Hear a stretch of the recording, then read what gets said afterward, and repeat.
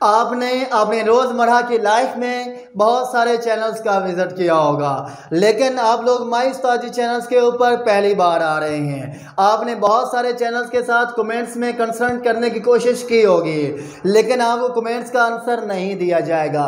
ये माई उस्तादी चैनल्स एक वह चैनल्स है, जो आपके हर एक कमेंट्स को रीड करता है, और अलहमदिल्ला आपको ट्वेंटी फोर आवर्स से पहले पहले आपके कमेंट्स का आपको आंसर देता है। बेशक अगर आप लोग माई उस्ताजी चैनल्स को आजमाना चाहते हैं तो आप लोग एक दफ़ा कमेंट्स करके माई उस्ताजी चैनल्स को आजमा लीजिएगा।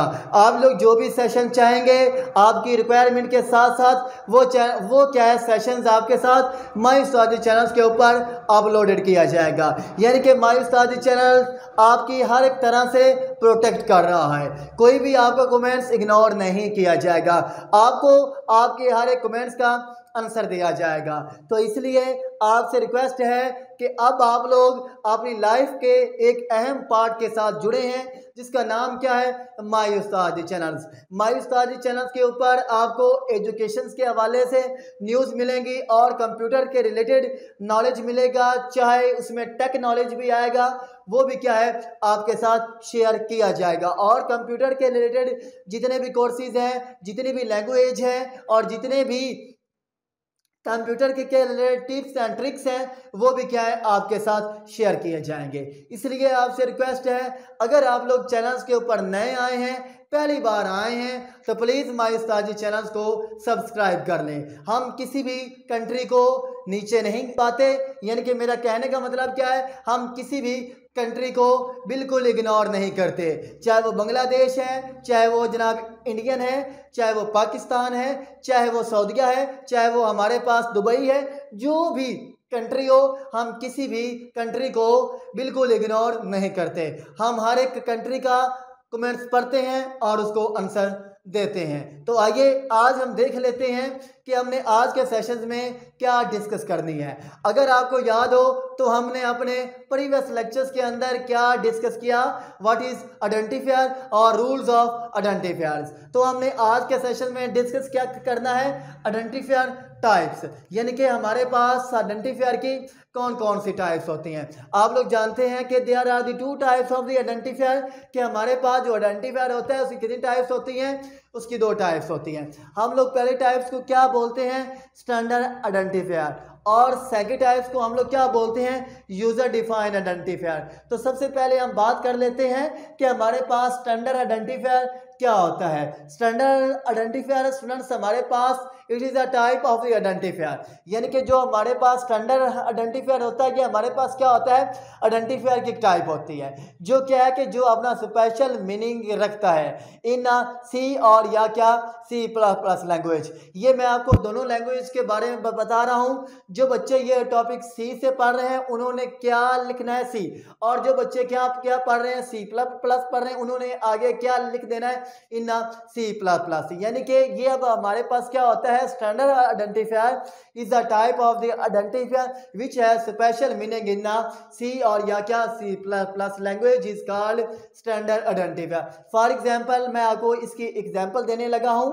प्लीज़ आपने अच्छी तरह से समाप्त कर लेना है। आप लोग जानते हैं कि जो हमारे पास इनपुट और आउटपुट फ़ंक्शंस होते हैं, ये कौन कौन से होते हैं? फॉर एग्ज़ाम्पल पहले हम बात करें सी लैंग्वेज की। सी लैंग्वेज में हमारे पास क्या होते हैं? इनपुट और आउटपुट फ़ंक्शंस एक को हम लोग क्या बोलते हैं? प्रिंट एफ़ दूसरे को स्टूडेंट्स हम लोग क्या बोलते हैं? एफ़ ये दोनों कहाँ पर होते हैं स्टोर ये दोनों हमारे स्टेडियो डॉट एच जो हेडर फ़ाइल होती है, इसमें स्टोर होते हैं। अगर हम लोग सी प्लस प्लस लैंग्वेज की बात करें तो जो हमारे पास सी प्लस प्लस लैंग्वेज में फ़ंक्शंस होते हैं, वो हमारे पास इनपुट आउटपुट फ़ंक्शन कौन कौन से होते हैं? उसका नाम क्या होता है? सी आउट और क्या सीन ये जो हमारे पास फ़ंक्शंस होते हैं, ये हमारे आयो स्ट्रीम डॉट एच जो हेडर फ़ाइल होती है, ये उसमें स्टोर होते हैं। अब इनका काम क्या है? हमारे पास स्पेसिफिक है, ख़ास काम है, इसलिए इसको, को हम लोग क्या बोलते हैं?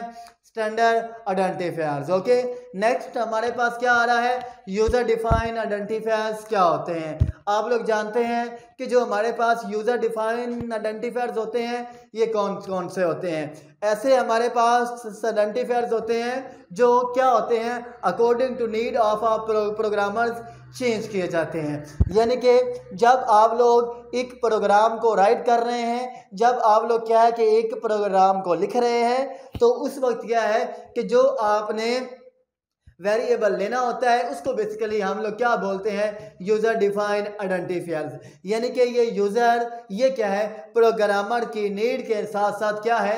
आप लोग इसको चेंज कर सकते हैं। फॉर एग्जांपल कैसे? ये मैं आपको बताने जा रहा हूँ। हम लोग एक वेरिएबल लेते हैं मार्क्स नाम का। क्या? मार्क्स का। और यही भी वेरिएबल सेम है। और हमने एक वेरिएबल ले लिया ए ले लिया, या बी ले लिया एक्स ले लिया, या वाई ले लिया, ठीक है? ये सब हमारे पास बेसिकली हैं क्या? वेरिएबल्स हैं, जिनको क्या है? आप लोग अपनी ज़रूरत के मुताबिक चेंज कर सकते हैं। जो वैल्यू आपने मार्क्स में लिया है, वही वैल्यू आप ए में भी ले सकते हैं बी में भी ले सकते हैं। फ़र्ज़ किया कैसे? मैं आपको बताने जा रहा हूँ ए बराबर है टू बी बराबर है टू सी बराबर है टू इन तीन वेरिएबल्स का मतलब एक है।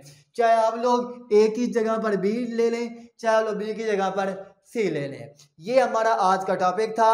बहुत इजी हमारा टॉपिक था, बहुत छोटा सा टॉपिक था। इसलिए क्या है कि मैंने ये सेशन ज़्यादा लंबा करना नहीं चाह अगर आपको फिर भी समझना है प्लीज़ आपने मुझे कमेंट ज़रूर करना है। आज का सेशन हमारा यहीं तक था। तो प्लीज़ वीडियो को लाइक कर लें वीडियो को शेयर कर लें चैनल को सब्सक्राइब कर लें। तो अल्लाह आपका हमें नासिर हो। अल्लाह हाफिज़।